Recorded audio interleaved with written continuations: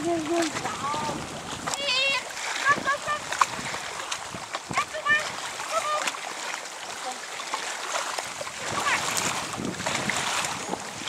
much? Look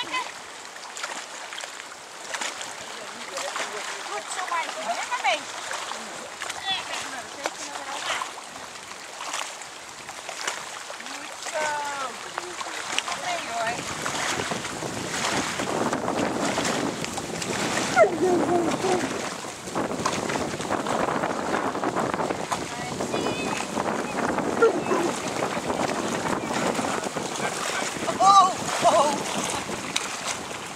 Now, this is the point.